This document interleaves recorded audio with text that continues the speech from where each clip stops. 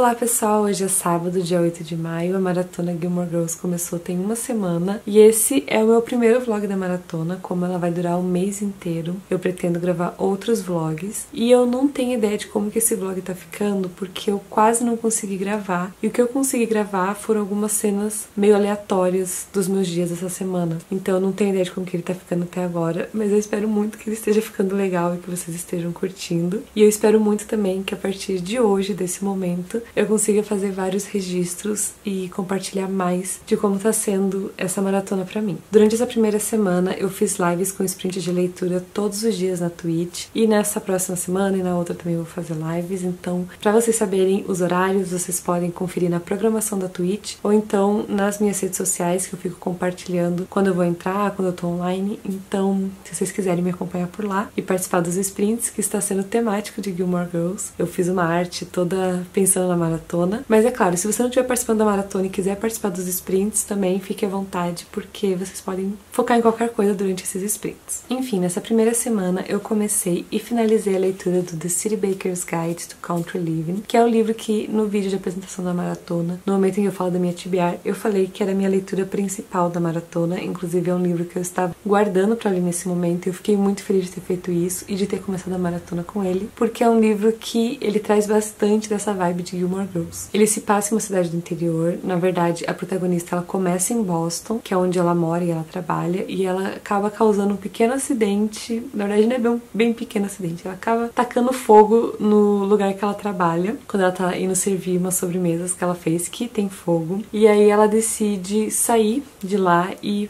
e visitar a amiga dela que mora numa cidadezinha do interior. E aí, chegando lá, ela acaba conseguindo trabalhar como confeiteira em uma pousada chamada Sugar Maple, que tem um nome maravilhoso, já amei. E ela mora na Sugar House, e eu achei isso muito fofo. E aí tem toda aquela vibe de cidade pequena, né? Todo mundo se conhece. Ela foi por causa da melhor amiga dela que mora lá. E ela acaba conhecendo as fofocas da cidade, as pessoas e a história vai acontecendo. Foi uma leitura bem leve, uma leitura bem divertida. E tem toda essa vibe de cidade pequena, de comida. Tem o concurso anual de torta de maçã. Eu amei isso. Lembrei muito de Gilmore Girls, porque né, tem todas essas tradições que tem na cidade lá em Stars Hollow. Enfim, foi uma leitura que eu gostei bastante e que eu recomendo. E infelizmente não foi publicado no Brasil ainda, mas eu espero muito que seja. Vocês podem pedir para as editoras trazerem, porque vai que né, alguma delas resolve trazer. Eu postei uma foto lá no meu Insta hoje falando um pouquinho dessa leitura e já teve gente que marcou editora para editora ver. Então vocês podem fazer isso, vocês podem marcar a editora, vocês podem mandar o post para editora para ver se alguma delas se interessa em trazer. Aí quando eu finalizei a leitura desse, eu já comecei a ler o The Tourist Attraction, que também é um livro que eu tava guardando para essa maratona. Eu tô bem no começo eu comecei a ler na live de ontem, na live de sexta-feira, e eu estou no capítulo 4. Eu li 68 páginas ontem durante a live. É uma leitura que também tá sendo leve e divertida. Esse aqui a história se passa no Alasca e o primeiro capítulo já me fez dar algumas risadas. E depois eu falo mais sobre ele porque agora eu vou jantar, porque eu quero fazer alguns sprints com o pessoal do Catarse lá no Discord, na salinha de Gilmore Girls. Então, depois que eu avançar um pouquinho mais na leitura, eu falo sobre esse livro aqui com vocês. Take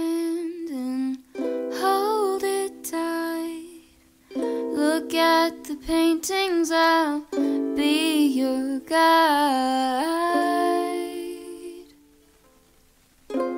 Don't stop looking in my eyes.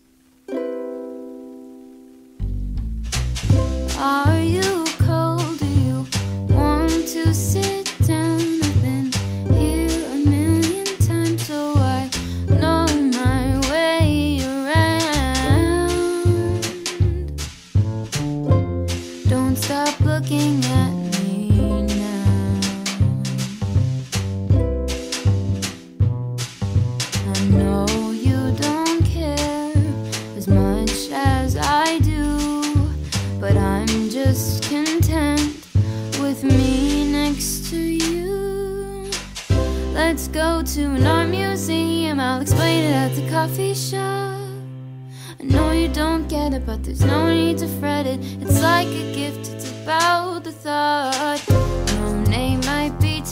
and Van Gogh might take a while.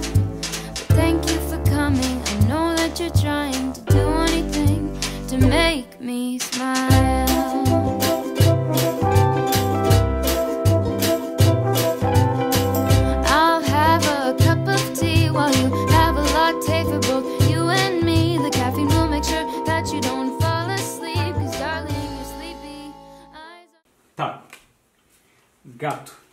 Cabra. Ah, Queijo. queijo. Pizza. Ai, patê! Olha como tá. Foi o último. Ai. Não. Taco. Gato. Nossa, eu fui o primeiro. Vai, patê. Ai, meu Deus. Taco. Gato. Gato. É a minha risada de bruxa que ela tem de vez em quando. Pizza. Taco. 哎。